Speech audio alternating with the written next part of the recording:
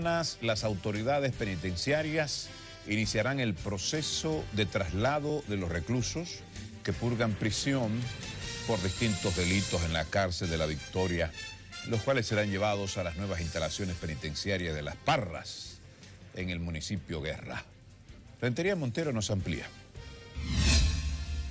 Las autoridades proyectan en varias semanas la entrega de los primeros edificios del complejo penitenciario Las Parras para iniciar el traslado de los reclusos de la Victoria. Lo que quiere decir que la cuenta regresiva para la erradicación de la Victoria, como la conocemos, y el, y el inicio del traslado de los privados de libertad hacia los ocho centros de Las Parras, la cuenta regresiva ha iniciado. El funcionario explicó que se introdujeron modificaciones al recinto que albergará poco menos de 9 mil personas. Encontramos una unas edificaciones en Las Parras para alrededor de 9.000 personas, todas eh, agrupadas, eh, contraviniendo eso las reglas elementales eh, desde el punto de vista sanitario, de seguridad y demás. El asesor del Poder Ejecutivo en materia penitenciaria habló del tema durante la entrega de una ambulancia a la Procuraduría General. Este equipo para su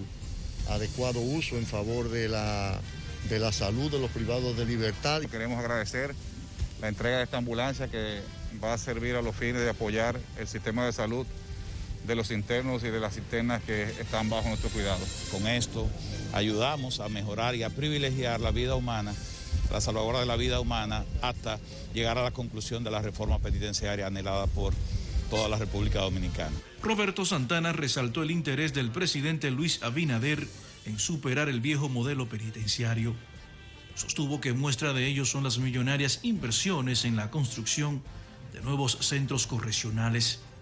Rentería Montero, CDN.